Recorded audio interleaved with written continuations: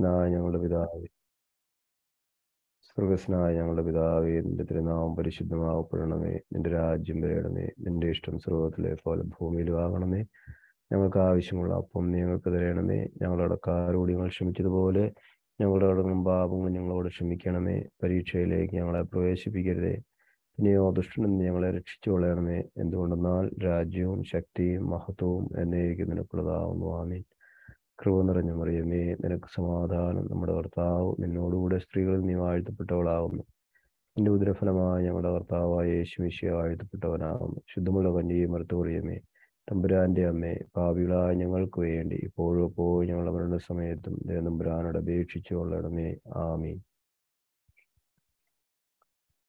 ഇപ്പൊ നമ്മൾ ഇന്ന് ചിന്തിക്കാനായിട്ട് വിചാരിക്കുന്നത് വിചാരിച്ചിരുന്നതും ഫിലക്സിനോസ് ഓഫ് മാബൂഗിന്റെ പ്രാർത്ഥനയെക്കുറിച്ചുള്ള ആ കാഴ്ചപ്പാടാണ്. അപ്പം നമ്മളത് മുമ്പോട്ട് പോകുമ്പോഴാണ് അതിലൊരു റിയാലിറ്റി നമുക്ക് കാണാൻ പറ്റുന്നത് ഈ പ്രയർ എന്നുള്ള കാഴ്ചപ്പാട് മാത്രമായിട്ട് ഫിലക്സിനോസ് അത് പറയുന്നില്ല. പ്രയറിനോടൊപ്പം തന്നെ ഫെയ്ത്തും കൂടെ ചേർന്നാണ് കിടക്കുന്നത് ഇത് രണ്ടിനും ഒരേ ഈ പ്രാധാന്യത്തോടു കൂടിയാണ് ഫീലിക്സിനോസ് ഇത് കൊണ്ടുപോകുന്നത്. ഇന്ന് നമുക്ക് ഇതിന്റെ പി പി ടി ഇതിന്റെ എഴുത്ത് എഴുതി രൂപത്തിൽ നമ്മളിങ്ങനെ നോക്കാറുണ്ടായിരുന്നു. അപ്പോൾ അത് ഞാൻ അടുത്ത ആഴ്ചയിൽ അല്ലെങ്കിൽ വരും ദിവസങ്ങളിൽ അത് നിങ്ങൾക്ക് ഷെയർ ചെയ്തോളാം. ഇന്നത്തെ ക്ലാസ് നോട്ടായിട്ടുള്ളത്. അപ്പം നമ്മൾ ഈ ഈ ഈ ക്രിസ്തു യേശുവിനെ നമുക്ക് യോഹന്നാൻ മാംദോനോ പാപം വഹിക്കുന്ന ദൈവത്തിന്റെ കുഞ്ഞാടെന്ന് പറയുന്നുണ്ട്. എബ്രായ ലേഖനത്തിലൊക്കെ പ്രധാന പുരോഹിതനായിട്ട് ഡിഫൈൻ ചെയ്തിട്ടുണ്ട്. പിന്നെ രാജാവായിട്ട് മത്തായി ശ്ലീഹ പറയുന്നുണ്ട്. ന്യായാധിപനായിട്ട് പറയുന്നുണ്ട്. യോനാന്റെ സുവിശേഷത്തിൽ നോക്കുമ്പോൾ കർത്താവ് ആടായിട്ടും ഇടയനായിട്ടും പല ആലങ്കാരിക രൂപത്തിൽ കാഴ്ചവെക്കുന്നുണ്ട്. അപ്പോൾ ഈ ഫീലിക്സിനോസ് നല്ലൊരു ഇൻട്രസ്റ്റിംഗ് ആയിട്ടുള്ള വേറൊരു ഒരു ഒരു ഒരു ഡെഫിനിഷൻ കൊടുക്കുന്നുണ്ട്. മനുഷ്യാവതാരം ചെയ്ത വചനം ആയ ദൈവം പ്രാർത്ഥിപ്പാനായിട്ട് വന്നവനാണെന്നുള്ളൊരു ഒരു ഐഡന്റിറ്റി കൊടുക്കുന്നത് അപ്പം ആദ്യം പറഞ്ഞ പോലെ ഈ മഹാപ്രധാനാചാര്യൻ എന്നുള്ളത് പറയുന്നത് പോലെ തന്നെ നമ്മുടെ അടുക്കിലേക്ക് മനുഷ്യാവതാരം ചെയ്ത തൃത്വത്തിലെ രണ്ടാമൻ വന്നത് അത് പ്രാർത്ഥിക്കാനായിട്ടാണ്. പ്രാർത്ഥനാ പുരുഷനായിട്ടാണ് എന്നുള്ളൊരു കാഴ്ചപ്പാട്. അത് ഭയങ്കര ഇൻട്രസ്റ്റിംഗ് ആണ് നമുക്ക്. നമ്മളിങ്ങനെ നമ്മുടെ ഒരു പ്രെയർ ലൈഫിന്റെ മോഡൽ കർത്താവായ യേശു ക്രിസ്തുവാണ് അദ്ദേഹത്തിന്റെ ഗച്ഛമന തോട്ടത്തിലെയും ദൈവവുമായിട്ട് ശുശ്രൂഷയിലേക്ക് കടക്കുന്നതിന് മുൻപ് നാൽപ്പത് രാവും നാൽപ്പത് പകലും ഉപവസിച്ചതും അതൊക്കെ ഒരു പ്രാർത്ഥിക്കാനായിട്ടാണ് മനുഷ്യാവതാരം ചെയ്തെന്നുള്ള ഒരു കാഴ്ചപ്പാടാണ് ഫീലക്സിനോസ് കൊടുക്കുന്നത്. അപ്പോൾ അതിൽ പ്രാർത്ഥന ശരിക്കും കർത്താവിന് ആവശ്യമില്ല. തൃത്വത്തിലെ രണ്ടാമനാണ്. അവന് അവന് വേണ്ടി പ്രാർത്ഥിക്കേണ്ട ആവശ്യമില്ല. പക്ഷേ ഈ മനുഷ്യാവതാരം ചെയ്ത ലോഗോസ് കഷ്ടതയോടെ നമുക്ക് വേണ്ടിയാണ് പ്രാർത്ഥിച്ചതിൽ അപ്പം പ്രാർത്ഥന ആവശ്യമില്ലാത്തവൻ പ്രാർത്ഥന ആവശ്യമുള്ളവരായ നമുക്ക് വേണ്ടി പ്രാർത്ഥിച്ചു. അപ്പോൾ നമ്മൾ പ്രാർത്ഥിക്കാതിരുന്നാലുള്ള അവസ്ഥ എന്തായിരിക്കും എന്നാണ് പറയുന്നത്. ഇപ്പം ഇപ്പം ഒരു ഒരു കാര്യം ഒരു പഠിക്കേണ്ടവൻ ഒരു അധ്യാ ഒരു വിദ്യാർത്ഥിക്ക് പഠിക്കേണ്ട ആവശ്യമുണ്ട്. അവന് പഠിക്കാനായിട്ട് മനസ്സ് കാട്ടുന്നില്ല. എന്നാൽ പഠിക്കേണ്ട ആവശ്യമില്ലാത്ത ഒരു അധ്യാപകൻ പഠിപ്പിക്കാനായിട്ട് അവന് വേണ്ടി താഴ്ന്ന് ഇറങ്ങി ചെല്ലുമ്പോൾ ആ വിദ്യാർത്ഥി പഠിക്കാതിരുന്നാൽ എത്രമാത്രം കഷ്ടമായിരിക്കും. അതുപോലെ തന്നെയാണ് ഉദാഹരണമായിട്ട് നമ്മുടെ ലൈഫും. ക്രിസ്തു മനുഷ്യാവതാരം ചെയ്തിരിക്കുന്നത് മറ്റ് സുവിശേഷ പിതാക്കന്മാരും പല പല ആലങ്കാരികമായിട്ടുള്ള ടൈറ്റിൽ നിർവചനം കൊടുത്തതുപോലെ ഫിലക്സിനോസ് ഓഫ് മാബൂഗ് പ്രത്യേകമായി പറയുന്നത് പ്രാർത്ഥനയ്ക്ക് വേണ്ടി പ്രാർത്ഥന നമ്മെ പഠിപ്പിക്കുവാനാണ് അവൻ മനുഷ്യാവതാരം ചെയ്തതെന്നാണ് പറയുന്നത്. അപ്പൊ നാം നമ്മുടെ പ്രാർത്ഥന പുത്രനിൽ നിക്ഷേപിക്കണം എന്ന് പറയാ. അതിന് ഉദാഹരണം പറയുന്നത് ഇപ്പൊ ഒരു നദി ഒരു ചെറിയനെ പോണ ഒരു നദി ഒരു വലിയ നദിയിലേക്കോ സമുദ്രത്തിലേക്കോ ചെന്ന് ചേരുവാണെങ്കിൽ ആ നദിക്ക് വലിയ ശക്തി ഉണ്ടാവില്ല അതിന്റെ ആ കൂടിച്ചേരലിന്.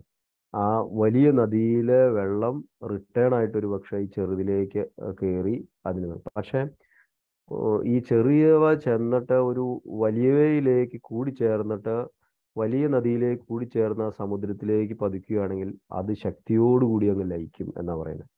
അപ്പൊ അതുപോലെ നമ്മുടെ പ്രാർത്ഥനകൾ ഈ മനുഷ്യാവതാരം ജഡ ചെയ്ത ജഡം ധരിച്ച ക്രിസ്തുവിനോട് ചേർന്നായിരിക്കണം. ക്രിസ്തുവിനോടാണ് നമ്മൾ പ്രാർത്ഥനയിടുന്നത് ക്രിസ്തുവിന്റെ മനുഷ്യാവതാരം ചെയ്ത ലോഗോസിന്റെ ഫുൾ ടൈം റെസ്പോൺസിബിലിറ്റി നമുക്ക് വേണ്ടി പ്രാർത്ഥിക്കുക എന്നുള്ള ആണ് പറയുന്നത്. ഇപ്പോഴും ന്യായവിധിക്ക് മുമ്പ് വരെയും അവന്റെ ഉത്തരവാദിത്വം നമുക്ക് വേണ്ടി പ്രാർത്ഥിക്കുക എന്നാണ് പറയുന്നത്. അപ്പം മനുഷ്യാവതാരം ചെയ്തവൻ പ്രാർത്ഥിക്കുന്നതിന് വേണ്ടിയാണ് ജഡാവതാരം ചെയ്തത്. അദ്ദേഹം നമ്മുടെ പ്രാർത്ഥന ക്രിസ്തുവിനോട് കൂടി ചേർത്ത് ആയിരിക്കണം പ്രാർത്ഥിക്കേണ്ടത്. വീണ്ടും പറയുന്നത് ഇദ്ദേഹം പ്രാർത്ഥനയുടെ അധ്യാപകനായിരുന്നു. നമ്മൾ എങ്ങനെയാണ് പ്രാർത്ഥിക്കേണ്ടതെന്ന് പഠിപ്പിച്ചു. സ്വർഗസ്നായ പിതാവയുടെ വ്യാപ്തി കർത്തൃപ്രാർത്ഥനയുടെ വ്യാപ്തി നമുക്കറിയാം. എല്ലാ നമസ്കാരങ്ങളിലും ശുശ്രൂഷകളിലും ആ പ്രാർത്ഥന നമ്മൾ പഠി പഠിക്കുന്നുണ്ട്. അപ്പൊ ഈ കോണ്ടെക്സ്റ്റിൽ ഇന്നിട്ട് ഫീലക്സിനോസ് നല്ല ഒരു യോഗ്യമായ ഒരു വിശദീകരണ പ്രാർത്ഥനയെ പറ്റി പറയുന്നത് അപ്പൊ അതിന്റെ ഉദാഹരണം അതിന്റെ കാര്യം അത് പറയുന്നത് നമുക്ക് ഒരിക്കലും പ്രാർത്ഥനയിൽ നിന്ന് മാറി നിൽക്കാനായിട്ട് സാധിക്കുകയില്ല. ജഡം ധരിച്ചവന്റെ ഒരു ഒരു ഡിഫനഷനാണ് പ്രാർത്ഥിക്കുവാനായി വന്നു എന്നുള്ളത്. എന്തെങ്കിലും ചിന്തകളുണ്ടോ നിങ്ങൾക്ക്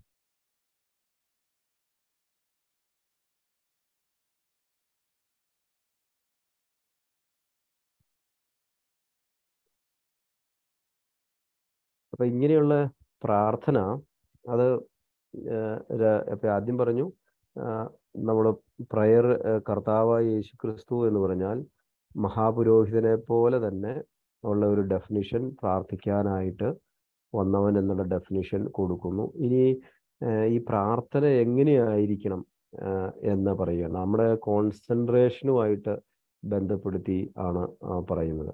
അപ്പം നമ്മുടെ പ്രാർത്ഥന എന്ന് പറഞ്ഞാൽ നമ്മുടെ ഹൃദയത്തിൽ നിന്നായിരിക്കണം എന്ന് പറയുന്നു.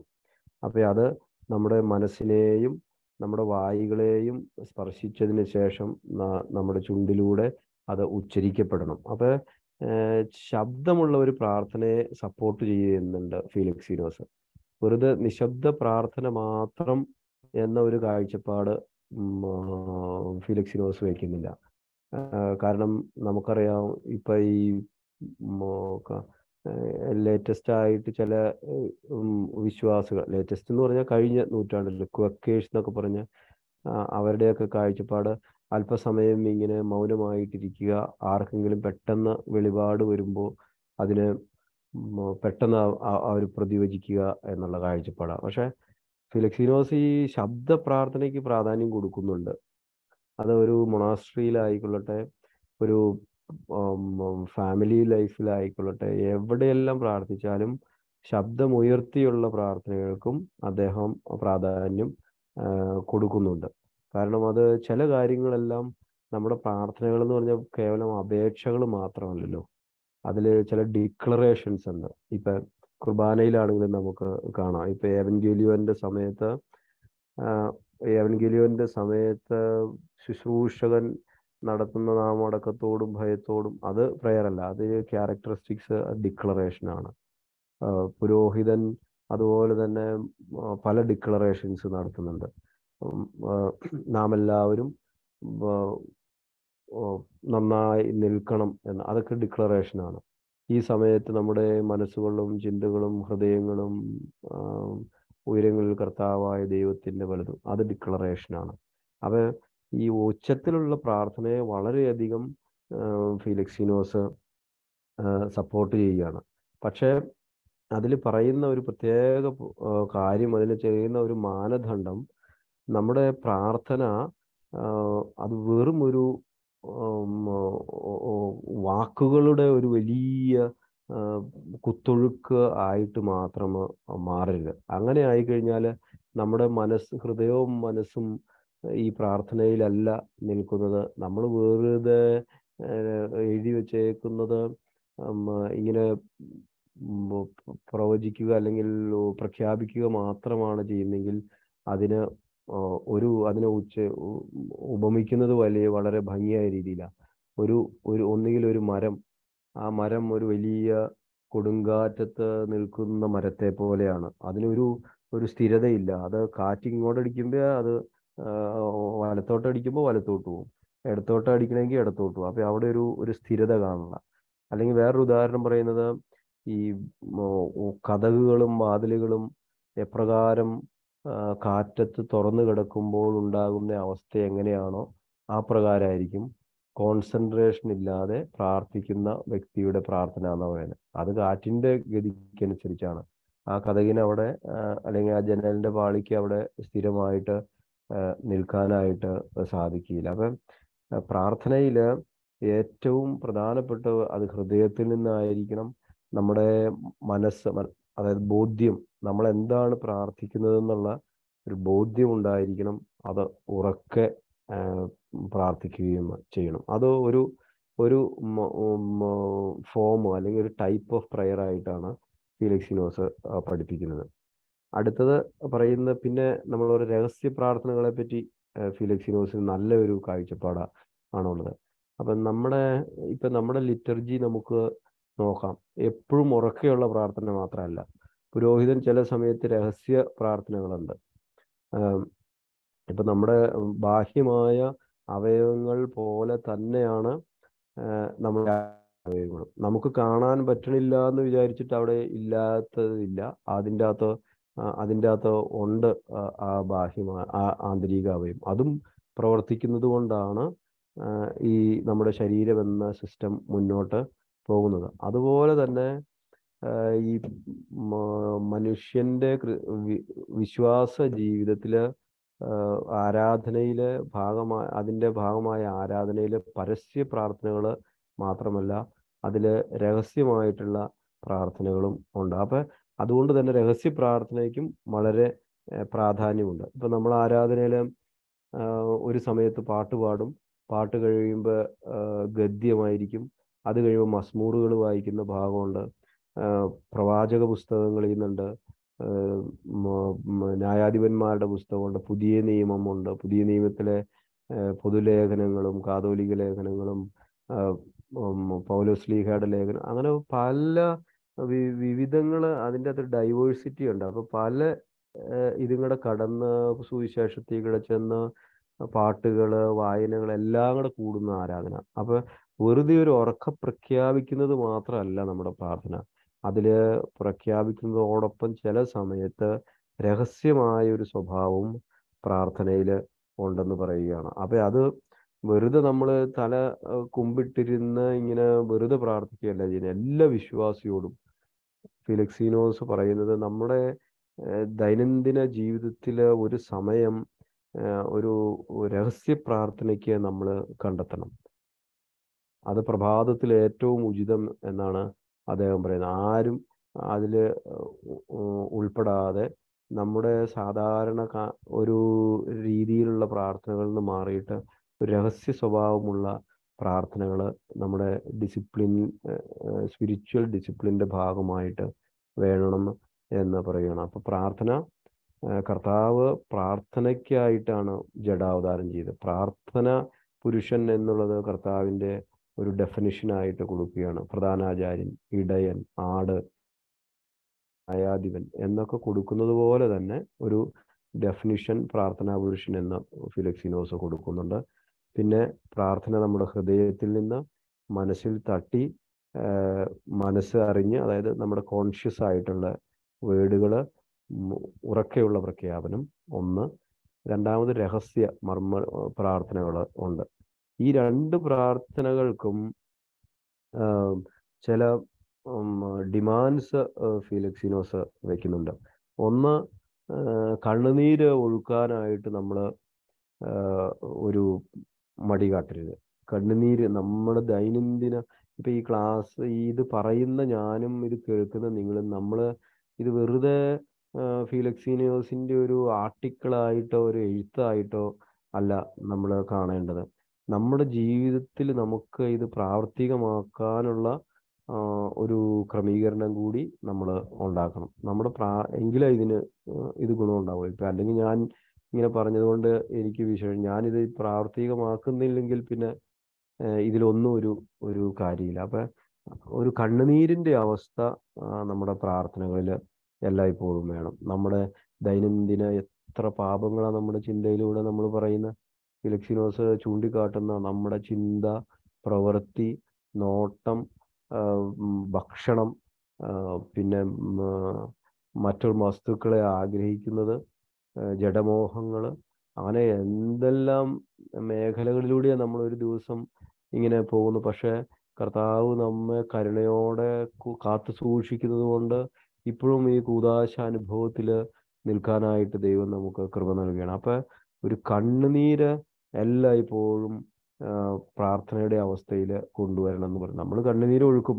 എപ്പോഴാണെന്ന് വെച്ചാൽ നമ്മൾ നമ്മുടെ ആവശ്യങ്ങൾ വരുമ്പോൾ നമുക്ക് ഇച്ചിരി ടെൻഷനും പക്ഷെ ദൈനംദിനം കണ്ണുനീരിന്റെ ഒരു അവസ്ഥ പ്രാർത്ഥനയിൽ അനുതാപത്തിന്റെ അവസ്ഥ ഉണ്ടാകണം അത് നമ്മുടെ ഹൃദയത്തെ കഴുകുന്നത് ഒരു ഒരു മാധ്യമമാണെന്നാണ് പറയുന്നത്. പിന്നെ സഹോദരനോട് ഒരു ഗ്രഡ്ജ് ഉൾക്കൊണ്ടിട്ട് ഒരിക്കലും പ്രാർത്ഥനയിലേക്ക് പോകരുത്. കാരണം ഈ ഗ്രഡ്ജ് വന്നു കഴിഞ്ഞാൽ അത് പ്രാർത്ഥനയല്ല. അത് കായന്റെ സ്വഭാവത്തിലേക്ക് പോകുന്നതാണ് അവിടെ കാരണം കായൻ അർപ്പിച്ച വസ്തു മോശമായിരുന്നില്ല. കായൻ ഫിലിക്സിനോസ് പറയുന്ന കായൻ വെച്ചത് ഏറ്റവും ശ്രേഷ്ഠമായതാണ് വെച്ചത്. ഒരു മോശമായ ബലി ആയിരുന്നില്ല. കർത്താവിന് സമർപ്പിക്കുവാനായി കൊണ്ടുപോയ അവന്റെ ബലിവസ്തുക്കൾ മോശമായിരുന്നു ആയിരുന്നില്ല. അത് ഏറ്റവും ഉന്നതമായത്. പക്ഷെ അവന് സഹോദരന്റെ മേൽ ദേഷ്യവും അസൂയയും വന്നതാണ് അവന്റെ ബലി സ്വീകരിക്കാതെ പോയത്. അപ്പൊ അതുകൊണ്ട് നമുക്ക് ഇവിടെ ഇതിലുള്ള വൈദികർക്കെല്ലാം അറിയാം നമ്മുടെ ഓരോ കുർബാനയിലും നമ്മൾ നിയമലംഘനങ്ങൾക്ക് വേണ്ടിയും പരസ്പരം സമാധാനം ചോദിച്ചും എത്ര എത്ര പ്രാവശ്യ പരസ്യവും രഹസ്യവുമായിട്ട് ഈ സമാധാനത്തിന്റെ ഒരു അവസ്ഥയിലേക്ക് പ്രാർത്ഥന കൊണ്ടുപോകുന്നത്. ഫിലിക്സിനോസ് ഏറ്റവും ഏറ്റവും പ്രാധാന്യം കൊടുക്കുന്ന ഒരു സംഗതിയാണ്. സഹോദരനോട് ഒരു ഗ്രഡ്ജ് ഉള്ളിൽ വെച്ചിട്ട് പ്രാർത്ഥിക്കുവാനായിട്ട്. അപ്പൊ അതിന് ഒരിക്കലും നമുക്കത് വർത്താവില്ല കാരണം അത് നമുക്ക് നമ്മളെ നശിപ്പിക്കും അവരെ നശിപ്പിക്കും എന്നുള്ള ഒരു അത് അങ്ങനെ വിലക്ഷ അതിപ്പോ ഞാൻ എന്റെ കയ്യിൽ നിന്ന് പറഞ്ഞതാട്ടോ സോറി. അത് അങ്ങനെ പറയുന്നില്ല. അത് അതുകൊണ്ടൊരു ലാഭം നമ്മൾ ഉണ്ടാക്കാനായിട്ട് സാധിക്കില്ല എന്ന് എന്ന് പറയുന്നുണ്ട്. പിന്നെ ആദ്യം പറഞ്ഞതുപോലെ സൈലൻസ്. സൈലൻസ് പ്രാർത്ഥനയിലെ വലിയ പ്രധാനപ്പെട്ടതാണ്.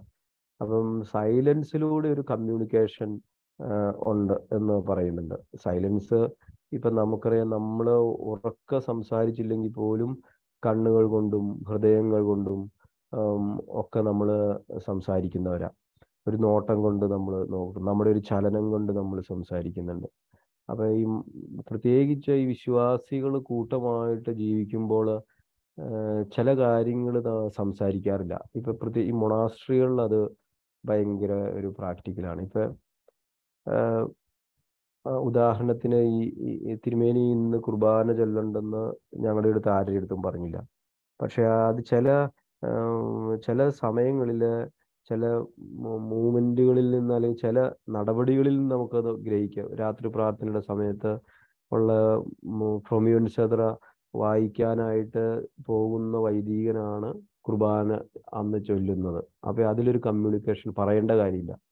തലേ ദിവസം ഏവൻഗ്യൂലിയൻ വായിക്കുന്ന വൈദികൻ തന്നെയായിരിക്കണം പിറ്റേ ദിവസം കുർബാന ചൊല്ലേണ്ടത് എന്നുള്ള ഒരു മൊണാസ്റ്റിക് ഫംഗ്ഷൻ ഉണ്ട്. അപ്പോൾ അത് ഇന്ന് വൈകിട്ട് എവൻഗ്യോലിയൻ വായി ഒരാൾ വായിച്ച അയാളാണ് നാളെ കുർബാന ചെല്ലുന്നത് എന്നുള്ള ഒരു കമ്മ്യൂണിക്കേഷൻ അവിടെ ഉണ്ട്. അപ്പൊ നിശബ്ദതയിൽ ഒരു സംസാരവും ഒരു ആശയവിനിമയവും നമുക്ക് കാണുവാൻ സാധിക്കും. നമ്മുടെ കുടുംബങ്ങളിൽ നമ്മുടെ സുഹൃത്ത് ബന്ധങ്ങളിൽ. അങ്ങനെയുള്ള പൊതു പൊതു ഇടങ്ങളിൽ പോലും നിശബ്ദമായ ചില ആശയവിനിമയങ്ങളുണ്ട്. അപ്പൊ ഫീലിക്സിനോസ് നിശബ്ദമായ പ്രാർത്ഥനയ്ക്ക് വളരെയധികം പ്രാധാന്യം കൊടുക്കുന്നു. അപ്പൊ നിശബ്ദ പ്രാർത്ഥനയുടെ ഒരു പ്രശ്നം എപ്പോഴും ചൂണ്ടിക്കാട്ടുന്നത് നിശബ്ദ പ്രാർത്ഥന നമ്മുടെ മനസ്സിന് ബലമില്ലാത്തവരുടെ മനസ്സിനെ അത് വലിച്ചുകൊണ്ട് പോകും അവിടെ ഒത്തിരി സമയം നമുക്ക് കോൺസെൻട്രേറ്റ് ചെയ്യാനായിട്ട് പറ്റില്ല എന്ന് പറയുന്നുണ്ട്. അപ്പൊ അതിനാണ് നമ്മുടെ പിതാക്കന്മാരിപ്പോ ഉം, ഓരോ പാട്ടിന്റെ സമയത്ത് പാട്ട് അത് കഴിഞ്ഞ് ഗദ്യം ഒരു മോഡല്ല പോകുന്നത്. അത് മാറ്റം വരുത്തി എടുക്കിയിരിക്കുന്ന ആളുകൾക്ക് അതിലൊരു കോൺസെൻട്രേഷനും അതിന്റെ വിരസതയും അകറ്റുക എന്നുള്ളതാണ്. അപ്പം ആദ്യമായിട്ട് പ്രാർത്ഥന എന്ന് പറഞ്ഞാൽ അത് അത് ഹൃദയത്തിൽ നിന്നായിരിക്കണം. അത് ഉറക്കയും പ്രാർത്ഥിക്കാം നിശബ്ദമായിട്ടും പ്രാർത്ഥിക്കാം. പ്രാർത്ഥിക്കുമ്പോൾ ഒരിക്കലും നമ്മുടെ സഹോദരനോട് നമുക്ക് ഒരു വിദ്വേഷം വെക്കരുത്. നമ്മൾ കര കണ്ണുനീര് നമ്മൾ ഒഴുക്കണം. ഉം, ആ, ആ, കണ്ണുനീര് എപ്പോഴും ഒഴുക്കുന്ന ഒരു പ്രാർത്ഥനയായിരിക്കണം നമ്മുടെ ജീവിതത്തിൽ വേണ്ടത്. ഇതൊരു ഒരു ടീച്ചിങ് എന്നതിലുപരി അത് ഈ ഫിലക്സീനോസിന്റെ എപ്പോഴും ഉള്ള പ്രത്യേകത എന്ത് കാര്യത്തെയും പുള്ളി തന്റെ വിശ്വാസത്തെ ഡിഫെൻഡ് ചെയ്യുന്നത് എപ്പോഴും ഈ സ്ക്രിപ്ചർ ബേസ് ചെയ്തിട്ടാണ് ഫിലക്സിനോസ് തന്നെ ബൈബിൾ ഫിലക്സിനോസിന്റെ തന്നെ വേർഷൻ ബൈബിൾ എഡിറ്റ് ചെയ്ത് അന്നത്തെ കാലത്ത് ഉണ്ട്. അപ്പൊ എല്ലാ പ്രാർത്ഥനകളുടെയും അദ്ദേഹം ബേസിസ് സ്ക്രിപ്ചറാണ്. എന്തിനെ സംരക്ഷിക്കുന്നതും എതിർക്കുന്നതും വചനത്തിന്റെ അടിസ്ഥാനത്തിൽ. ആ വചനത്തിന് വലിയ പ്രാധാന്യം അദ്ദേഹം പറയുന്നുണ്ട്. പ്രാർത്ഥനാ സമയത്തെ പ്രാർത്ഥനാ സമയത്തെ തടസ്സങ്ങൾ മടുപ്പുകൾ അവിടെയെല്ലാം അദ്ദേഹം പറയുന്നത് നിങ്ങൾ ഇടയ്ക്ക് മസ്മൂർ വായിക്കുക എന്നുള്ളതാണ്. നമ്മുടെ ജീവിതത്തിൽ നമുക്ക് എപ്പോഴും പ്രാവർത്തികമാക്കാവുന്ന ഒരു കാര്യമാണ്.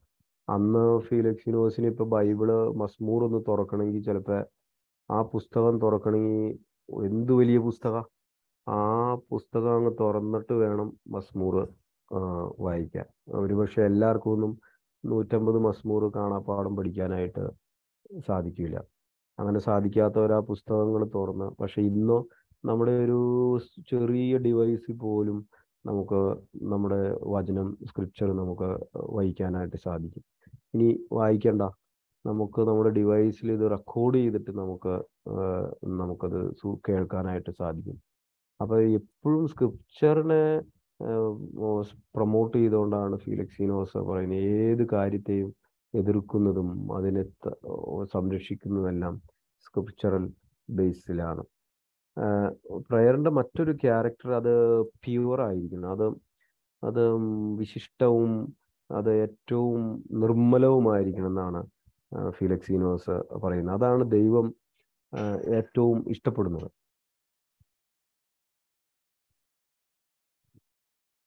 അത് നിശബ്ദമായ സോറി ഏറ്റവും നിർമ്മലമായ പ്രാർത്ഥന എന്ന് പറഞ്ഞാൽ കുറെ വാക്കുകളുടെ വലിയ ആഘോഷങ്ങൾ അല്ല.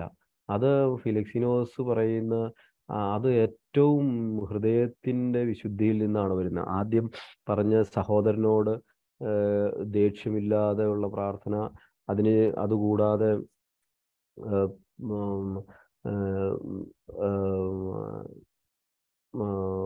കണ്ണുനീരോടുകൂടിയുള്ള പ്രാർത്ഥന അപ്പൊ ഇതെല്ലാം നിർമ്മലമായ പ്രാർത്ഥനയുടെ ഉദാഹരണങ്ങളാണ്. അതിന് ഒത്തിരി വലിയ വാക്കുകളുടെ ആഘോഷങ്ങളൊന്നും നമുക്ക് ആവശ്യമില്ല. അതിൽ നമുക്ക് നിശബ്ദമായ ഒരു മൂലയിലോ നമ്മൾ ജോലി ചെയ്യുമ്പോഴോ നിങ്ങൾ ഒരു ഒരു വെറുതെ ഒരു ഗാർഡനിലെ ഒരു ചെറിയ കല്ലിന്മേൽ പോലും ഇരുന്നിട്ട് ആ നിശബ്ദമായ പ്രാർത്ഥന നടത്താമെന്നാണ് പറയുന്നത്. നമ്മുടെ ഒത്തിരി ആളുകൾ ദൈവകൃപയാൽ അങ്ങനെ ചെയ്യുന്ന ആളുകളുണ്ട്. എനിക്ക് അറിയാവുന്ന ഒത്തിരി വ്യക്തികളുണ്ട്. നിശബ്ദമായി ഇരുന്ന് പ്രാർത്ഥിക്കുന്ന വ്യക്തികൾ. അത് നമ്മുടെ സഭയുടെ ഈ പൗരസ്ത്യ ആത്മീയതയുടെ ഒരു വലിയ ഒരു മുതൽക്കൂട്ടാണ്. നമ്മൾ വിചാരിക്കും അവർ വലിയ ആഘോഷം പക്ഷെ അവർ നിശബ്ദമായി പ്രാർത്ഥിക്കുന്ന ഒത്തിരി ഗുരുനാഥന്മാരും ശ്രേഷ്ഠരായ ആളുകളും നമ്മുടെ സഭയ്ക്ക് ഇപ്പോഴും അത് സ്വത്തായിട്ടുണ്ടെന്നുള്ളത് വലിയ അനുഗ്രഹമാണ്. അപ്പൊ ഈ നിശബ്ദമായ പ്രാർത്ഥനയിൽ നിന്ന് സർവ ലോകത്തെയും നമ്മൾ മാറ്റി അകറ്റി നിർത്തിയേക്കണം. അപ്പം ഈ ഫിലക്സിനോസ് മാബൂവല്ല വെള്ളിയാഴ്ചത്തെ ഉച്ച നമസ്കാരത്തിന്റെ ബോവുസോയിൽ ഏത് സമയത്തെയാണെന്ന് വിട്ടുപോയി. ഉച്ച നമസ്കാരത്തിന്റെ ബോവുസയിൽ യാക്കോബിലെ സെറൂഗ് പറയുന്നുണ്ട്. നീ പ്രാർത്ഥിക്കുമ്പോൾ നിൽക്കുമ്പോൾ നിന്റെ മനസ്സ് മാർക്ക് ചന്തയിൽ വാണിജ്യത്തിന് പോകരുതെന്ന് പറ പറയുന്നുണ്ട് അപ്പം അതായത് നമ്മൾ പ്രാർത്ഥിക്കുമ്പോൾ നമ്മുടെ മനസ്സും അവണ്ണം തന്നെ പോ പോകണം എന്നാണ് പറയുന്നത്. അപ്പൊ ഈ ഇതിന് ഒരു നമ്മുടെ ഉള്ളിന് അതൊരു ഒരു വലിയ നമ്മുടെ മനസ്സിന് വലിയ സ്ഥാനം പ്രാർത്ഥനയിൽ കൊടുക്കുന്നുണ്ട്. വെറുതെ വാക്കുകളുടെ ജൽപ്പനങ്ങളിൽ നിന്ന് മാത്രമല്ല കമ്മ്യൂണിക്കേഷൻ നടക്കുന്നത് എന്ന് പറയുന്നത്. അപ്പൊ ചില സമയത്ത് നമ്മൾ പ്രാർത്ഥനകൾ നിർത്തേണ്ട സ്ഥലങ്ങളുണ്ട്. ഒരു ചെറിയ അതിന് ആ വേർഡ് സീക്രട്ട് ബൗണ്ടറീസ് എന്നാ ഉദ്ദേശിച്ചേക്കണം. ചില സ്ഥലങ്ങളിൽ പ്രാർത്ഥനകളൊന്ന് പൗസ് എടുക്കേണ്ട ഒരു ഒരു സമയം വരും. അവിടെ നമ്മളത് സൂക്ഷിച്ച് ആ പൗസിൽ നിന്ന് മാറരുത്. അതായത് അത് പറയുന്ന നമ്മളെ ഈ പ്രാർത്ഥനയുടെ പേര് പറഞ്ഞ് ദൈനംദിനമായിട്ടുള്ള ഉത്തരവാദിത്തങ്ങളിൽ നിന്ന് മാറിപ്പോകരുതെന്നുള്ളതാണ് അതിന്റെ ആ ആ ഒരു ടൈറ്റിൽ കൊണ്ട് അദ്ദേഹം ഉദ്ദേശിക്കുന്നതെന്നാണ് വിചാരിക്കുന്നത്. സീക്രട്ട് ബൗണ്ടറി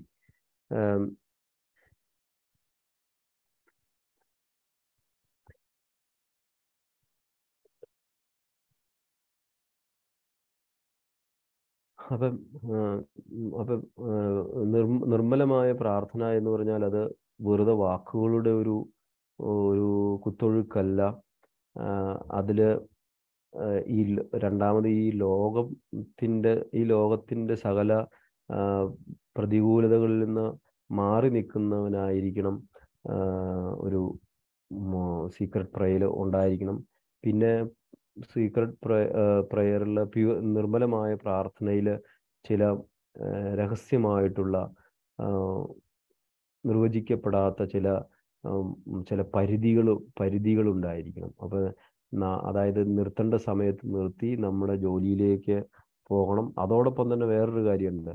നമ്മൾ ചോദിക്കാൻ ആവശ്യമില്ലാത്തവ ചോദിക്കരുതെന്ന് കൂടി ഒരുപക്ഷെ ഫിലിക്സിനോസ് ആ വേർഡ് കൊണ്ട് ഉദ്ദേശിക്കുന്നുണ്ടാവാം.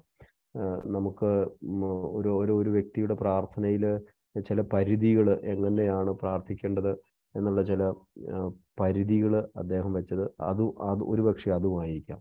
അപ്പൊ എങ്ങനെയായാലും ഒരുവന്റെ മനസ്സിനെ അല്ലെങ്കിൽ ഒരുവന്റെ വ്യക്തിത്വത്തെ അലങ്കരിക്കുന്ന ഒരു വിശ്വാസിയുടെ വ്യക്തിത്വത്തെ അലങ് അലങ്കരിക്കുന്ന ദൈവികമായ ഒരു പ്രവൃത്തിയാണ് പ്രാർത്ഥന. അത് കേവലം നമ്മുടെ പുറമെ മാത്രമല്ല പുറമെ ഇപ്പൊ നമുക്ക് എല്ലാവർക്കും ഒക്കെ പറ്റും. പ്രാർത്ഥന കൊണ്ട് അത് പറ്റും. പക്ഷെ നമ്മുടെ ഇൻവാർഡും അത് വേണം. നമ്മുടെ ജീവിതത്തിലും അത് വേണം. ഇപ്പൊ ഞാൻ പറയുന്ന ഞാനും കേൾക്കുന്ന നിങ്ങളും അത് ശരിക്കും അത് വളരെ വിനയത്തോടെ പ്രാവർത്തികമാക്കണമെന്ന് ഞാൻ ആശംസിക്കുകയാണ്. നമ്മുടെ രഹസ്യ ജീവിതത്തെയും നമ്മുടെ പരസ്യ ജീവിതത്തെയും നമ്മുടെ ഇന്നർ ബീയിങ്ങിനെയും ഔട്ടർ ബീയിങ്ങിനെയും ഒക്കെ അത് അലങ്കരിക്കുന്ന ഒരു അലങ്കാര വസ്ത്രമായിരിക്കണം നമ്മുടെ പ്രാർത്ഥന. പുറമെ മാത്രം ഇടുന്ന ഒരു അലങ്കാര വസ്ത്രമായി തീരരുത് എന്ന് പറയുന്നുണ്ട്. അപ്പൊ ഒരു പക്ഷെ നമുക്ക് പുറമെ ഇടാൻ എല്ലാവർക്കും സാധിക്കും. അകമേ ഈ പറയുന്നത് നമുക്ക് പലപ്പോഴും സാധിക്കാൻ വലിയ ബുദ്ധ ബുദ്ധിമുട്ടാണ്. അപ്പം ആദ്യത്തെ തന്നെ പറഞ്ഞതുപോലെ തന്നെ നിർമ്മലമായ പ്രവർത്ത പ്രാർത്ഥനയിൽ ഒഴിവാക്കാനാവാത്തത് ഒന്നാണ് സ്നേഹം. സ്നേഹം ഇല്ലെങ്കിൽ വെറും ചിലയ്ക്കുന്ന ചിലമ്പോ കൈത്താളം എന്ന സപ്പോസ് സപ്പോസ്തലം പറഞ്ഞ് കുരിന്തിരോട് പറഞ്ഞത് നമുക്കറിയാം. അപ്പോൾ സ്നേഹം ഏറ്റവും വിശിഷ്ടമാണ്. വിശ്വാസം പ്രത്യാശയിൽ ഏറ്റവും പ്രധാനം സ്നേഹത്തിൽ ഏറ്റവും പ്രത്യേകം പ്രധാനം സ്നേഹമാണ്. അപ്പൊ ഈ അപ്പൊ നമ്മുടെ പ്രാർത്ഥനയെ പിന്തുടരുന്ന ഒരു വ്യക്തിത്വങ്ങളായി പ്രാർത്ഥിക്കുക പ്രാർത്ഥിക്കുക എന്ന് പറഞ്ഞ് നമ്മുടെ ഓരോ സമയങ്ങളും ഓരോ നാഴികകളും അതിനുവേണ്ടി തയ്യാറെടുക്കുന്ന അതിനുവേണ്ടി നമ്മെ വിളിക്കുന്ന മണിമുഴക്കങ്ങളും നമ്മളെ വിളിക്കുകയല്ല ചെയ്യേണ്ടത്. നമ്മുടെ പുറകെ വന്ന് അത് പിടിച്ചു കൊണ്ടുപോകാനല്ല ശ്രമിക്കേണ്ടത്. നമ്മൾ അവയെ പിൻപറ്റണം എന്നാ ഫിലിക്സിനോസ് പറയുന്നത്. അറുപത്തി ഒമ്പതാമത്തെ സംഗീതത്തിൽ എന്റെ ആത്മാവ് നിന്നെ പിന്തുടരുന്നു. ആഗ്രഹിക്കുന്നു എന്ന് പറഞ്ഞിട്ടുണ്ട്. എന്റെ ആത്മാവ് നിന്നെ പിന്തുടരുന്നു എന്നാ ഫിലിക്സിനോസ് അതിനെ നിർവചിക്കുന്നത് വെറുതെ മണിമുഴക്കങ്ങളും ഒരു ഒരു ഭവനത്തിലെ ഒരു പ്രാർത്ഥനയുടെ നിയമങ്ങളും മൂലം ആ നിയമങ്ങളും മണിമുഴക്കങ്ങളും നമ്മളെ പുറകെ വന്ന് നമ്മളെ ശല്യം ചെയ്ത് എങ്ങനെയും ആ പ്രാർത്ഥനാ മുറിയിലേക്ക് കൊണ്ടുപോകണ അല്ല ചെയ്യുന്നത് വചനത്തിൽ അറുപത്തി ഒമ്പതാം മൂന്നാം സങ്കീർത്തനം ഒമ്പതാം വാക്യം എന്റെ ഉള്ളം എന്റെ ആത്മാവ് നിന്നെ പിന്തുടരുന്നത് പോലെ നമ്മൾ ഓരോരുത്തരും പ്രാർത്ഥനയെ പിന്തുടരുന്നത് ഒരു നിർമ്മലമായ പ്രാർത്ഥനയുടെ ഒരു സവിശേഷതയാണ്. അത് നമ്മുടെ ആളുകൾ അങ്ങനെ ചെയ്യുന്നുണ്ട്. നമ്മൾ പ്രാർത്ഥനാ സമയം കൃത്യമായി നോക്കി നടത്തുന്ന ആളുകൾ നമുക്ക് ഉണ്ടാകും. പണ്ട് കാലങ്ങളിൽ മുമ്പ് കാലത്ത് ഉച്ചവരെ ഉപവസിച്ചിട്ട് ഉച്ചയ്ക്ക് പിടിയേരിയൊക്കെ ഇട്ട് വയ്ക്കുന്നത് പഴയ ആളുകൾക്കൊക്കെ ഒരുപക്ഷെ ഈ കൂട്ടത്തിലുള്ളവർക്ക് തന്നെ അറിയായിരിക്കും. അത് സൂക്ഷിച്ചിട്ട് എന്നിട്ട് ആ പന്ത്രണ്ട് മണിക്ക് നമസ്കാരത്തിനായിട്ട് കാത്തിരിക്കുന്ന ആളുകൾ നമുക്കുണ്ട്. അപ്പം നമ്മുടെ ആത്മാ അവരുടെ ആത്മാവ് പിന്തുടരുകയാണ് ചെയ്യുന്നത്. അല്ലാതെ പ്രാർത്ഥന നമ്മളെ പുറകെ ഓടിച്ചിട്ട് പിടിക്കുകയല്ല ചെയ്യുന്നത്. നമ്മുടെ പ്രാർത്ഥന മറ്റൊരു സവിശേഷത നമ്മുടെ ഹൃദയത്തെ നമ്മുടെ ആത്മാവിനെ ബലപ്പെടുത്തുന്നതാണ്. പ്രാർത്ഥനയെ ബലപ്പെടുത്തും. പ്രാർത്ഥനാ മനുഷ്യന്മാര് വീരന്മാരെ നമുക്കറിയാം. എത്ര പ്രതിസന്ധി വന്നാലും അവർക്ക് വീണു പോവില്ല. എത്ര തടസ്സങ്ങളുണ്ടായാലും അവർ വീണ് പോവാറില്ല. അപ്പൊ അവിടെ പ്രാർത്ഥനയ്ക്ക് ചില ശക്തിയുണ്ട്. അതൊരു ചെമ്പ് കോട്ട ഒരു ഇരുമ്പ് കോട്ട ആണ് എന്ന് പറയാം. നമ്മുടെ നമ്മുടെ ആത്മാവിന്റെ ഒരു വസ്ത്രമാണെന്നാണ് ഫിലക്സിനോസ് പറയുന്നത്. മാമോദീസായിൽ നമുക്ക് മഹത്വവസ്ത്രം നമ്മൾ പറയുന്നുണ്ട്. മഹത്വവസ്ത്രത്തെ പറ്റി ഏഹ് പറയുന്നുണ്ട്. അതുപോലെ തന്നെ ഒരു മനസ്സിനെ വസ്ത്രം ധരിപ്പിക്കുന്നതാണ് നമ്മുടെ ആത്മാവിന്റെ ആത്മാവിനെ വസ്ത്രം ധരിപ്പിക്കുന്നതാണ് നമ്മുടെ പ്രാർത്ഥന എന്ന് പറയുന്നുണ്ട്. ഉം. സ്വർഗത്തിലേക്കുള്ള ഗോവാണി എന്ന നിർവചനമുണ്ട്. അതുപോലെ ഇലക്സിനോസ് കൊടുക്കുന്ന ഒരു നിർവചനമാണ്. നമ്മുടെ നമ്മുടെ മനസ്സിന്റെ ആത്മാവിന്റെ വസ്ത്രമാകുന്നു പ്രാർത്ഥന എന്നുള്ളത്. പ്രാർത്ഥനയിൽ നമ്മൾ പലപ്പോഴും മറന്നു പോകുന്ന മറ്റൊരു സംഗതിയാണ് ദൈവോചനം ദിനം ദിനം വായിക്കുകയും ആ അതിലെ ധ്യാന ആശയങ്ങളെ നമുക്ക് ചിന്തിക്കാതിരിക്കുകയും ചെയ്യുന്നത് ചെയ്യുക എന്നുള്ളത്. നമ്മൾ ചെറിയുന്ന ഓരോ വാക്കുകളും നമ്മൾ ദിനം പ്രതി അത് വായിക്കുന്നതിനെ ധ്യാനിക്കണം. അപ്പൊ അത് ധ്യാനിക്കുന്നത് അത് കേവലം വചനം മാത്രമാവണമെന്നില്ല. അത് അത് എല്ലായ്പ്പോഴും നമ്മുടെ ലിറ്റർജിയും അതിന് നമുക്ക് ഒത്തിരി പ്രാധാന്യമുണ്ട്. ഇപ്പൊ നമ്മുടെ ഒരു വൈദികര് അർപ്പിക്കുന്ന കുർബാനയിലെ ഓരോ പ്രാർത്ഥനകളും നമുക്ക് ഒന്ന് ശരിക്കും ധ്യാനിക്കാം. നമ്മൾ അത് പിന്തുടരണം. കാരണം അതിന്റെ അകത്ത് ഈ വചനത്തിന്റെ ഒത്തിരി ഘടകങ്ങൾ വരുന്നുണ്ട്. അതെന്താണ്? ആ വേർഡ് എങ്ങനെയാണ് ഉദ്ദേശിച്ചേക്കുന്നത്? എന്നുള്ള കാര്യങ്ങൾ ഈ ഫിലക്സിനോസ് പറഞ്ഞതുപോലെ അതിനെ നമ്മൾ പിന്തുടരണം എന്ന് പറയുന്നുണ്ട്. അപ്പോൾ സ്ക്രിപ്ചർ റീഡിങ്ങിൽ നമ്മൾ വായിച്ചു കേട്ടവ വെറുതെ പാസീവായിട്ട് വായിച്ചു പോവുകയല്ല പ്രാർത്ഥനയിൽ വേണ്ട അതിനെ റിക്കളക്ട് ചെയ്തെടുക്കാനുള്ള ഒരു ദാനത്തിനു കൂടി വേണ്ടി നാം ഉത്സാഹം ഉള്ളവരായിരിക്കണം. അപ്പൊ അങ്ങനെ ചെയ്യുമ്പോഴുള്ള ഒരു പ്രത്യേക ഗുണം ഫിലക്സിനോസ് തന്റെ ജീവിതത്തിൽ നിന്ന് പറയുന്നത്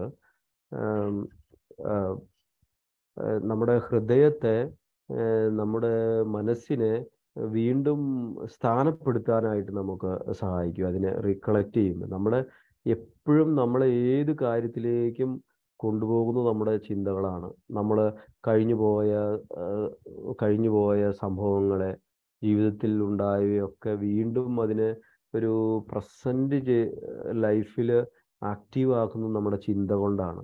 അപ്പം അങ്ങനെയുള്ളത് ആയിരിക്കരുത് ഒരു മനുഷ്യന്റെ ഒരു വിശ്വാസിയുടെ ജീവിതത്തിൽ ലൈവായിട്ട് നിൽക്കേണ്ട. മറിച്ച് ഒരു ദിവസം തന്റെ ചിന്തയിലൂടെ താൻ വായിച്ച ആ ധ്യാന ഭാഗം വചന ഭാഗമായിരിക്കണം ലൈവായിട്ട് നിൽക്കേണ്ടത്. അതുകൊണ്ട് ആ അറുപത്തിമൂന്നാം സങ്കീർത്തനം പറഞ്ഞിട്ട് എന്റെ ആത്മാവ് നിന്നെ പിന്തുടരുന്നു എന്ന് ഫിലക്സിനോസ് പറയാനായിട്ടുള്ള കാര്യം. ഇത് ഇത് നമുക്ക്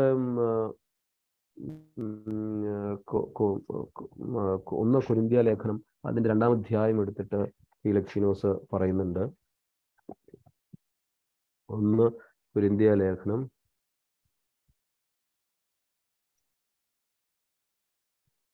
അതിന്റെ രണ്ടാം അധ്യായം പതിനഞ്ചാമത്തെ വാക്യം.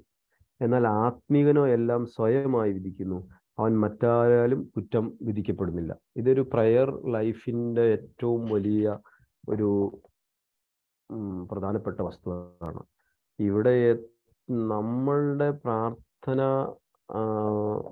അനുഭവം പ്രാർത്ഥനയുടെ ജീവിതം ഒരിക്കലും മറ്റുള്ളവരാൽ വിധിക്കാനായിട്ട് സാധിക്കില്ല.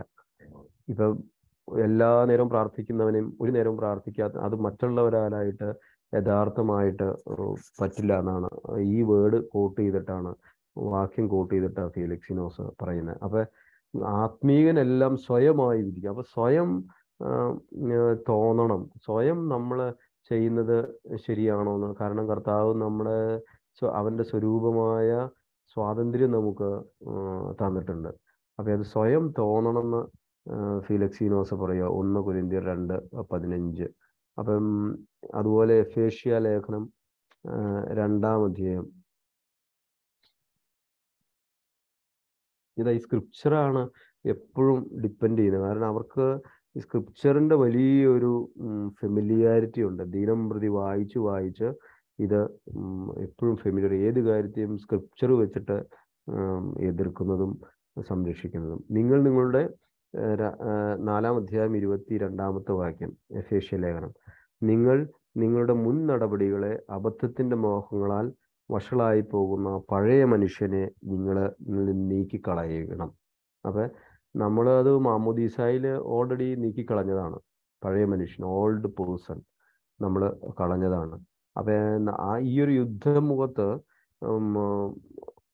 എല്ലായ്പ്പോഴും ഒരു പുതിയ മനുഷ്യനും പഴയ മനുഷ്യനും തമ്മിലുള്ള യുദ്ധമാണ് പ്രാർത്ഥനയിൽ ഫീലക്സിനോസ് ഇൻട്രൊഡ്യൂസ് ചെയ്യുന്നത് അപ്പൊ പുതിയ മനുഷ്യന്റെ ആയുധം നമ്മൾ പ്രാർത്ഥന എന്ന ആയുധം എന്നല്ലേ പറയണേ എപ്പോഴും പറയണേ. എല്ലാ നമ്മ ഇതിലും വ്യാഖ്യാനങ്ങളിലും പ്രാർത്ഥന എന്ന ആയുധത്തെ പറ്റി അപ്പൊ പുതിയ മനുഷ്യൻ ധരിച്ചിരിക്കുന്ന അല്ലെങ്കിൽ ഏന്തിയിരിക്കുന്ന ആയുധം ശക്തിയേറിയ ആയുധം പ്രാർത്ഥനയാണ്. ആദ്യം പറഞ്ഞത് ഓർക്കുണ്ടാവും.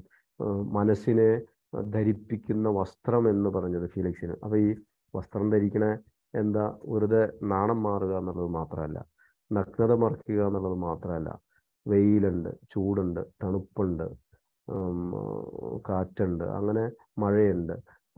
അതിൽ നിന്നെല്ലാം സംരക്ഷണം വസ്ത്രം നൽകുന്നുണ്ട്. അപ്പൊ ഈ ഓൾഡ് പേഴ്സണും ന്യൂ പേഴ്സണും തമ്മിലുള്ള യുദ്ധത്തിൽ നമ്മൾ ധരിക്കുന്ന ആയുധമാണ് വസ്ത്രമാണ് പ്രാർത്ഥന എന്നുള്ളത്. അപ്പോൾ പ്രതിസന്ധിയുടെ ഘട്ടത്തിൽ നമ്മളൊരു പ്രാർത്ഥനയുടെ അനുഭവത്തിലേക്ക് വരാനുള്ള ആഹ്വാനമാണ് ഫീലിക്സിനോസ് നൽകുന്നത്. ഈ കൊളോഷ്യ ലേഖനവും ഇത് തന്നെയാണ്. കൊളോഷ്യർക്ക് എഴുതിയ ലേഖനം മൂന്നാം അധ്യായം ഒമ്പതും പത്തും വാക്യങ്ങൾ വീണ്ടും അതിന് പറയുന്നുണ്ട്. ഒമ്പതും പത്തും. നിങ്ങൾ അന്യോന്യം കളവ് പറയരുത്. പിന്നെയോ പഴയ മനുഷ്യന്റെ അവന്റെ എല്ലാ നടുവുകളോടും കൂടെ ഉരിഞ്ഞു കളയണം. തന്റെ സാദൃശ്യ സൃഷ്ടാവിന്റെ സാദൃശ്യത്തിൽ ജ്ഞാനത്താൽ പുതുക്കപ്പെടുന്ന പുതിയവനെ ധരിക്കണം. അപ്പം എത്ര ശക്തമായിട്ട് ആ വേർഡ് അപ്പൊ എന്ത് എന്ത് ആഴത്തിലുള്ള വാക്കെടുത്ത ഫിലക്സിനോസ് ഇതിനെ ഡിഫൈൻ ചെയ്യുന്ന ഈ പ്രാർത്ഥന. അന്യോ പിന്നെയോ പഴയ മനുഷ്യനെ അവന്റെ എല്ലാ നടപടി വെറുതെ പറഞ്ഞാൽ പോരാ. അവന്റെ എല്ലാ നടപടികളോടും കൂടി കള ഉരിഞ്ഞു കളയണം. സൃഷ്ടാവിന്റെ സാദൃശ്യത്തിൽ അപ്പൊ ഇമേജ് ഓഫ് ക്രിയേറ്റർ ആണ്. ജ്ഞാനത്താൽ അറിവോടുകൂടി പുതുക്കപ്പെടുന്ന പുതിയവനെ ധരിക്കണം. അപ്പോൾ പ്രാർത്ഥനയിലൂടെ നമുക്ക് പുതുക്കത്തിന്റെ അനുഭവം ഉണ്ടാകുന്നു. വെറുതെ പഴയ മനുഷ്യനെ ഉരിഞ്ഞു കളയുക മാത്രമല്ല ചെയ്യുന്നത് അതിന് പുതിയ മനുഷ്യന് കൂടി ഉണ്ടാ ഉണ്ടാകുന്നു എന്ന് പറയുകയാണ്. അപ്പം ഈ പ്രാർത്ഥന നിർമ്മലമായിരിക്കണം. അത് ബലമുള്ളതായിരിക്കണം. അത് നമ്മുടെ ആത്മാവിനെ ശക്തിപ്പെടുത്തും. പിന്നെ അത് ഹൃദയത്തിൽ നിന്ന് ഉള്ളതായിരിക്കണം എന്നുള്ള മൂന്ന് പ്രധാന കാര്യങ്ങൾ ഫീലിക്സിനോസ് പ്രാർത്ഥനയെ പറ്റി പറയുന്നത്. അപ്പം വീണ്ടും ഇതിനോട് തന്നെ ആഡ് ചെയ്യുന്നുണ്ട് ഫെയ്ത്തിനെ ആഡ് ചെയ്യുക. ഇതൊക്കെ നടക്കണം. ഇതെല്ലാം നടക്കണമെങ്കിൽ നമുക്ക് വിശ്വാസം വേണം. അപ്പം ഇതിനെ രണ്ടിനെയും മാറ്റി നിർത്താനായിട്ട് നമുക്ക് പറ്റില്ല. ഫെയ്ത്തും പ്രയറും ഫെയ്ത്തിന്റെ ഒരു ഒരു പ്രൊട്ടക്ഷനായിട്ട് അല്ലെങ്കിൽ അതിന്റെ ഒരു ഒരു നിർമ്മാണമായിട്ടാണ് അല്ലെങ്കിൽ അതിന്റെ ഒരു റിസൾട്ടായിട്ടാണ് പ്രയറിനെ കാണുന്നത്. ഇപ്പൊ വിശ്വാസം ഉണ്ടെങ്കിൽ മാത്രമേ നമുക്ക് പ്രാർത്ഥിക്കാനായിട്ട് പറ്റുള്ളൂ. അപ്പോൾ വിശ്വാസത്തിന്റെ ബലഹീനതയും സോറി വിശ്വാസത്തിന്റെ ശക്തിയും അറിവിന്റെ ബലഹീനതയെ പറ്റിയൊക്കെ ഇന്നാൾ ഫീലിക്സിനോസ് പറഞ്ഞതെന്ന് ഞാൻ ഷെയർ ചെയ്തു എന്ന് ഞാൻ വിചാരിക്കുന്നത്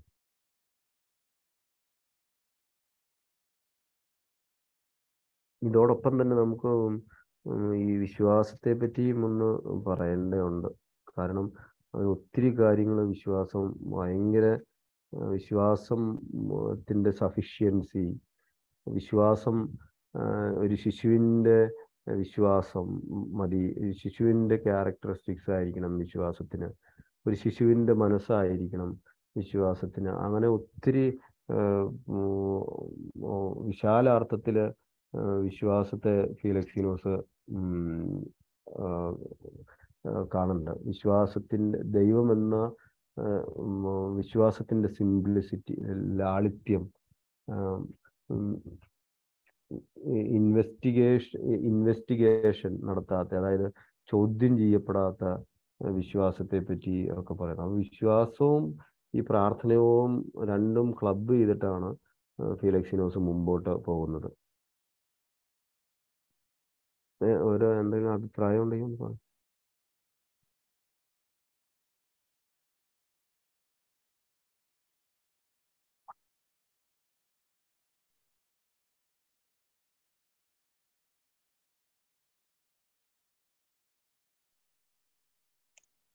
ബാർക്കുമാർ റമ്പാച്ച ആ അതും നമ്മുടെ ഈ രഹസ്യ പ്രാർത്ഥനയിൽ സന്ധ്യയുടെ ഉള്ളിൽ ഭോഷന്മാരോടുള്ള ചർച്ചയിൽ നിന്ന് എന്നെ അകറ്റണമേ എന്ന് പറയുന്നുണ്ട്. അപ്പൊ അതൊരു സഹോദരനാണെങ്കിലോ?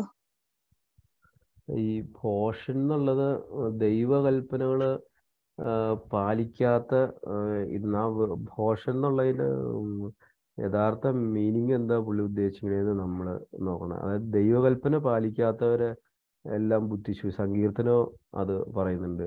ഞാൻ വിചാരിക്കുന്നത് എഴുപത്തി മൂന്നാം സങ്കീർത്തനാണ് ആണെന്നാണ് വിചാരിക്കുന്നത് അത് ദൈവത്തിന്റെ കൽപ്പനകളെയും അവന്റെ മഹത്വങ്ങളെയും അറിയാത്തവര് ഭോഷന്മാരാണെന്ന് സങ്കീർത്തനം പറയുന്നുണ്ട്. അപ്പൊ അവരോട് കൂടെ ചേരരുതെന്ന് അതല്ല ഉദ്ദേശം അതല്ല പറഞ്ഞ. അത് അങ്ങനെ എഴുതിയേക്കുന്നതാണ് ഭോഷന്മാരോടുള്ള ചർച്ചയിൽ നിന്ന് അകറ്റണമേന്ന് അപ്പം അത് അവിശ്വാസികളെ ആയിരിക്കാം ഉദ്ദേശിക്കുന്നത്.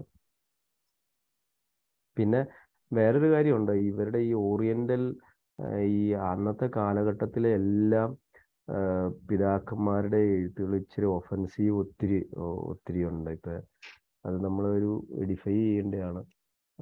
അങ്ങനെയുള്ള വീടുകളൊക്കെ അങ്ങനെ ഉപയോഗിക്കുന്നതേ. അങ്ങനെ എന്റെ അച്ഛന്മാരും എല്ലാം ഉണ്ടെങ്കിൽ അതൊന്ന് പറഞ്ഞാൽ അല്ലേ? അങ്ങനെ ഇപ്പൊ നമ്മൾ പിന്നെ നെസ്തോറിനെ പറ്റിയൊക്കെ പറയുന്നത് എത്ര ഇതായിട്ട്.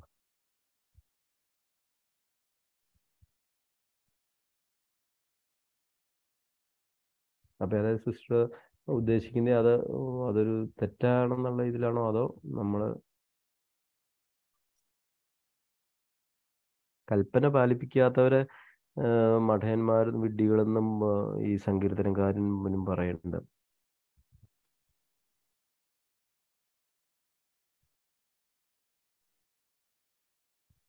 പ്രയർ അപ്പം ഇപ്പൊ ഈ പറഞ്ഞ പോലെ ഉള്ള ക്യാരക്ടറിസ്റ്റിക്സിനെ പറ്റിയ കൂടുതലും പ്രയറിനെ പറ്റി പറയുന്നത്. പിന്നെ അതുപോലെ തന്നെ ഫെയ്ത്തിലേക്ക് നേരെ കടക്കും. ഇതിനെല്ലാം നടത്തണമെങ്കിൽ ഫെയ്ത്ത് നമ്മുടെ കൂടെ ഉണ്ടായിരിക്കണം. അത് വിശ്വാസം എന്ന് പറഞ്ഞാൽ നമ്മുടെ നാവായിട്ടാണ് ഫിലിക്സിനോസ് എടുത്തു കാട്ടുന്നത്. ഒരു ഒരുവന്റെ നാവാണ് വിശ്വാസം എന്ന് പറയുന്നത്. നമുക്ക് വേണമെങ്കിൽ ഒരു ദിവസം ഈ വിശ്വാസത്തെ പറ്റി ഒന്ന് ഇത് കൂടാതെ കാര്യം ടൈറ്റിൽ വന്നിട്ടില്ലെങ്കിലും ഒന്ന് സംസാരിക്കുന്ന നല്ലതാണെന്ന വിചാരം.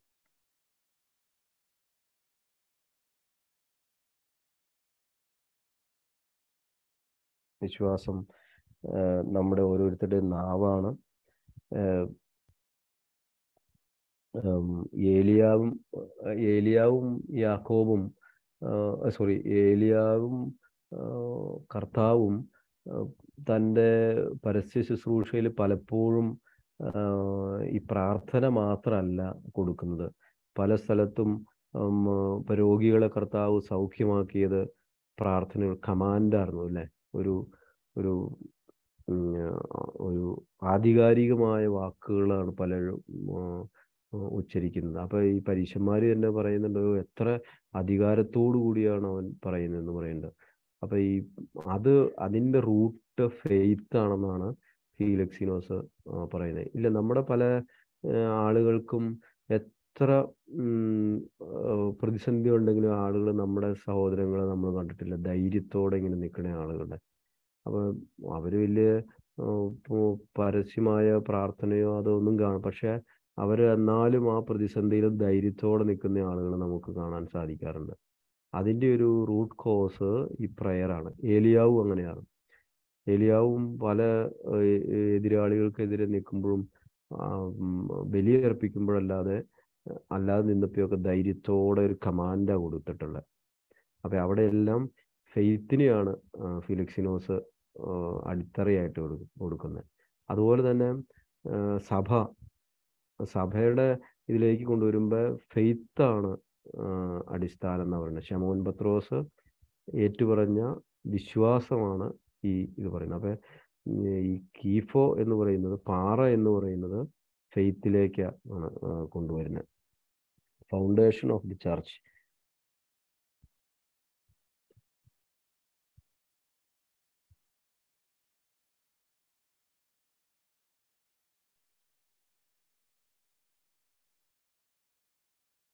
അപ്പൊ ഞാനിതിന്റെ നോട്ട് എഴുതിയിട്ടോളാം.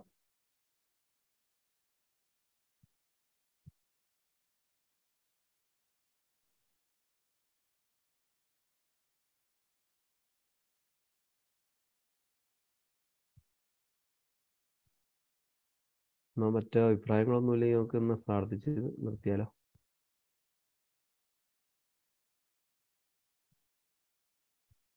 പ്രാർത്ഥിച്ച് നിർത്താം. ഇനി അടുത്ത ചൊവ്വാഴ്ച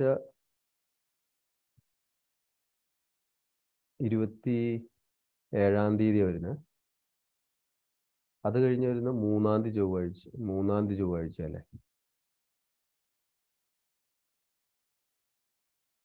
മൂന്നാം തീയതി ചൊവ്വാഴ്ച നമുക്ക് പോകാം പാർക്കുമോർ സ്വർഗസ്ഥനായ ഞങ്ങളുടെ പിതാവേ നിന്റെ തിരുനാമം പരിശുദ്ധമാവപ്പെടണമേ. നിന്റെ രാജ്യം വരണമേ. നിന്റെ ഇഷ്ടം സ്വർഗത്തിലെ പോലെ ഭൂമിയിലും ആകണമേ ഞങ്ങൾക്ക് ആവശ്യമുള്ള അപ്പം ഞങ്ങൾക്ക് തരണമേ. ഞങ്ങളുടെ കാരോട് ഞങ്ങൾ ക്ഷമിച്ചതുപോലെ ഞങ്ങളുടെ അടങ്ങും പാപങ്ങൾ ഞങ്ങളോട് ക്ഷമിക്കണമേ. പരീക്ഷയിലേക്ക് ഞങ്ങളെ പ്രവേശിപ്പിക്കരുത്. പിന്നെയോ ദുഷ്ടനിൽ നിന്ന് ഞങ്ങളെ രക്ഷിച്ചുകൊള്ളണമേ എന്തുകൊണ്ടെന്നാൽ രാജ്യവും ശക്തിയും മഹത്വവും എന്നേക്ക് നിനക്കുള്ളതാകുന്നു. ആമീൻ. കൃപ നിറഞ്ഞ മറിയമേ നിനക്ക് സമാധാനം. നമ്മുടെ കർത്താവ് നിന്നോടുകൂടെ സ്ത്രീകളിൽ നീ വാഴ്ത്തപ്പെട്ടവളാകുന്നു. നിന്റെ ഉദരഫലമായ ഞങ്ങളുടെ കർത്താവായ യേശുമിശിയ വാഴ്ത്തപ്പെട്ടവനാകുന്നു. ശുദ്ധമുള്ള കന്യകെ മലത്ത് കുറയുമേ തമ്പുരാന്റെ അമ്മേ പാവികളായ ഞങ്ങൾക്ക് വേണ്ടി ഇപ്പോഴെപ്പോഴും ഞങ്ങളുടെ സമയത്തും ദൈവം തമ്പുരാനോട് അപേക്ഷിച്ചുകൊള്ളണമേ ആമീൻ. പാർഹമോർ പിതാവാം ദൈവത്തിന്റെ സ്നേഹവും ഏകജാതിന്റെ കൃപയും പരിശുദ്ധ സംബന്ധവും സഹവാസവും നമ്മോടുകൂടെയും നാം കേട്ട വചനങ്ങളോടുകൂടി നമ്മുടെ ദൈവിക അധ്വാനങ്ങളോടുകൂടിയും ഇന്നും എന്നാളും ഉണ്ടായിരിക്കുമാറാകട്ടെ. ആമീൻ.